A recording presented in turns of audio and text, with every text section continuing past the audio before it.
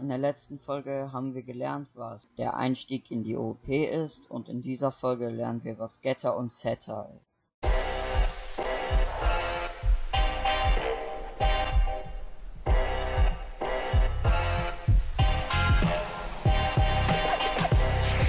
Ja, was die beiden nämlich machen ist, wir wollen von unseren Print-Infos nur eine bestimmte Info, zum Beispiel nur das Alter und wollen das auch bearbeiten können. Und an der Stelle kommen Getter und Setter ins Spiel, nämlich die machen, dass dieser eine Teil nur bearbeitet werden kann und auch angezeigt wird.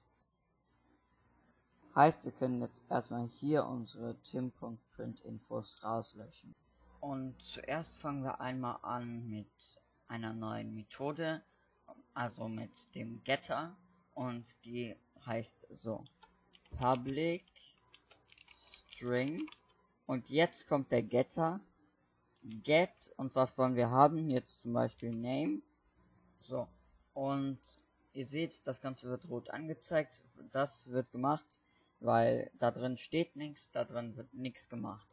Und wir wollen ja den Namen zurückgeworfen im Grunde bekommen. Also sagen wir einmal return. Name und wenn wir das Ganze jetzt ausführen würden, würde noch nichts passieren, weil wir ja nicht diese Methode ausführen. Das Ganze müssen wir nämlich jetzt in der Boot-Methode machen. Ich habe gesagt, wir wollten das Ganze auch einmal ausgegeben bekommen haben. Das machen wir mit system.out.println.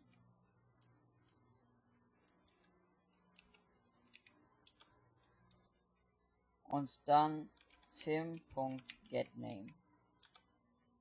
Und jetzt können wir einmal auf Speichern gehen und das Ganze einmal ausführen lassen.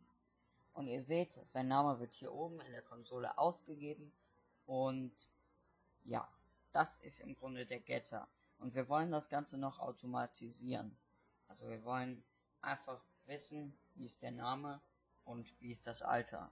Das Ganze machen wir einfach indem wir jetzt zum Beispiel das Alter haben wollen, wie gesagt.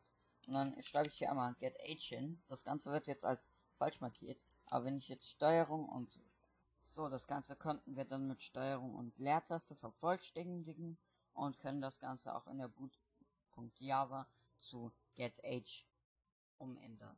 Wenn wir das Ganze jetzt einmal ausführen, seht ihr, wird das Alter ausgegeben.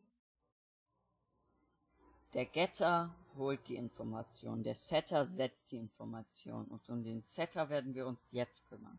Nämlich den Setter können wir genau wie den Getter vervollständigen, was wir jetzt einmal machen werden. Nämlich da werden wir einmal das Alter setzen, das heißt wir set age schreiben wir und dann wieder unser geliebtes Steuerung und Leertaste und doppelklicken das einmal. Dann wird das Ganze hier zu einer Methode vervollständigt. Das sagt öffentliche Methode, setAge heißt die, und da wird das int age genommen. Also, dann steht hier etwas, was wir schon mal hatten. Da steht nämlich this age gleich age. Das war hier oben auch nochmal mit this name gleich name. Damit wird nur festgelegt, dass ganz oben das Alter genommen wird und nicht das hier unten bei unserer Methode. So, dann in unserer boot.java können wir tim.set age schreiben dann können wir sein Alter bestimmen. Sagen wir, der ist jetzt auf einmal 16. Dann können wir das auch direkt danach einmal abfragen nochmal. Einfach den Befehl kopieren und einfügen, speichern und ausführen. Und ihr seht, er wurde von 18 zu 16 umgeändert.